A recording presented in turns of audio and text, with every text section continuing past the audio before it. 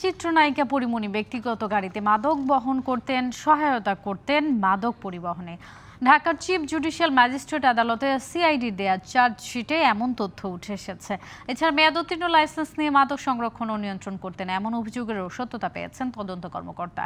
CID আরও বলছে ঢাকাই সিনেমার আলোচিত এই নায়িকা গ্রেপ্তারের সময় উদ্ধারকৃত মাদক নিয়েও সন্তোষজনক কোনো জবাব দিতে পারেনি।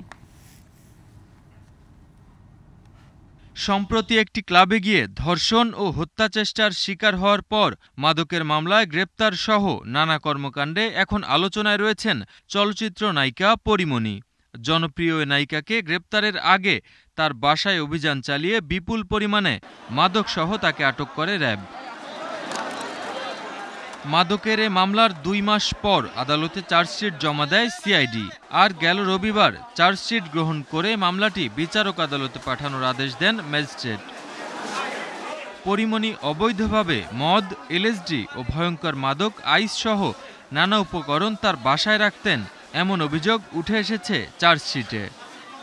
তদন্তকারী কর্মকর্তা সেখানে পরিমণির দখল হইতে মাদক, বিদেশি মদ, এলএসডি আইস এবং মাদক ব্যবহারের পাইপ সহ বিভিন্ন প্রকার উপকরণ জব্দ করেছেন এবং তদন্তকারী কর্মকর্তা সেই অভিযোগপত্রের শেষের অংশে উল্লেখ করেছেন যে পরিমণির কাছ থেকে যে গাড়িটি জব্দ করা হয়েছিল সেই গাড়িটি বিভিন্ন সময় মাদক ক্রয় বিক্রয়ের কাজে ব্যবহার করা হয়েছে।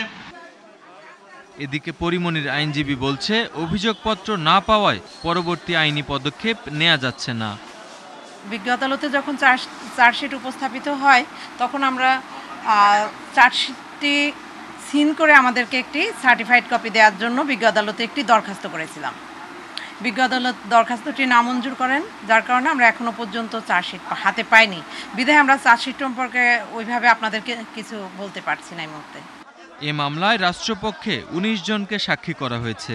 আর অভিযোগ প্রমাণিত হলে এ মামলায় পাঁচ বছরের সাজা হতে পারে চিত্রনায়িকা পরিমণির Mahim Mustafiz DBC news Dhaka